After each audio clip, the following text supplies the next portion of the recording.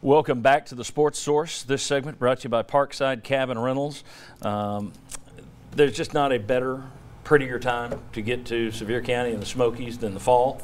And if you're headed up there, trust Parkside Cabin Rentals. All kinds of cabin layouts, fireplaces, hot tubs, free parking in downtown Gatlinburg when you drive into town. Parkside Cabin Rentals, they're a great, great group to deal with. Check out their website this week or give them a call. Parkside Cabin Rentals. All right, want to welcome in the next two VFLs, and I want to apologize for those who've come to appreciate our three up, three down opens. I forgot to put it in today. That's on me. Oh. Right down there, we got the VFLs, the Doves. We get Daniel Hood and Sterling Hinton, and right over here, of course, we got the Vultures, Will Overstreet and Jimmy Holmes. All right, uh, we do three up, three down. Who played best? Who played worse yesterday? Number three up, Doves. Who you got? You know, we've, we've said it for a couple of weeks now. You know, the definition of a Tennessee football player starts and ends with Jarrett Guarantano. Seven days after a surgery, you're already coming back. playing- Six. Or Six days, yeah. Yeah, six days after a surgery, you're already coming back and playing a, a game and leading your team to victory is incredible to see. Yes. Well, So they us give- vultures can differ on that just a little All right, bit. so, so Guarantano is the number three up. Who's the number three down, Vultures? You can you can certainly applaud Guarantano's toughness Yes. and the fact that he did come back six days after surgery. I don't know that you can applaud some of his decision making. He threw an interception in the end zone. By his definition, it was stupid. Uh, he also had a fumble on a handoff with the back. I thought he had he missed a blitz. He missed open receivers. I didn't think he played that well, but he. I give him credit for being out there.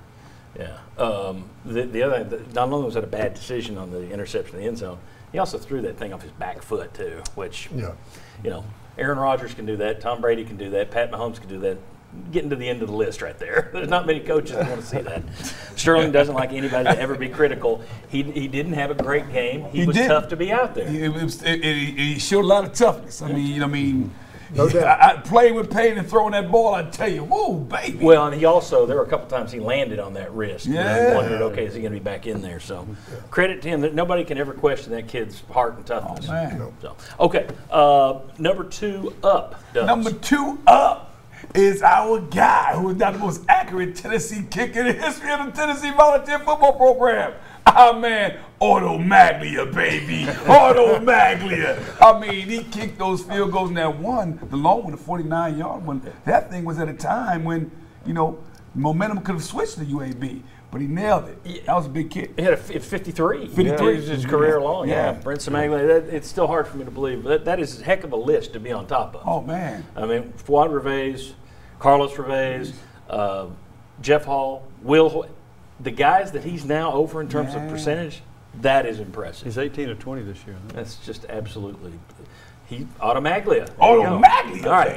Who is the number two down, Vultures? Uh, Kennedy, uh, you, you could have picked a couple of guys in that offensive line yesterday. Uh, they didn't have a great game. They got matched up. There were guys being missed, free runners on the quarterback, and then the running backs on the backfield. So, together, that group la- last night, and Kennedy being one of those guys, the nose tackles getting a lot of pressure up front. You have to say that they did not have a good night, and he's one of the downs. Okay. Number one up.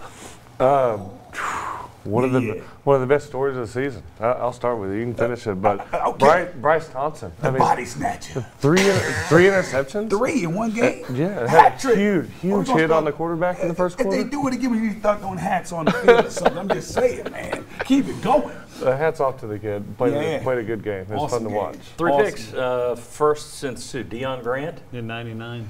It's a long time. All right. And I like to add, those picks weren't thrown directly to him. He made some athletic plays to get those balls, man. Yeah, and he also got. I mean, there was uh, one of those was a tip ball. I think Toa Toa got his Oh, hand on one of them. So, yeah, uh, kudos to Bryce Thompson. All right, who is the number one down?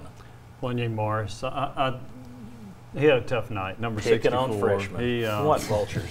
Yeah, well, that's what vultures are here for. what you're there Look on that carcass. Uh, but he, he did not have a good game. He gave up a, a, a sack. He missed a couple other blocks.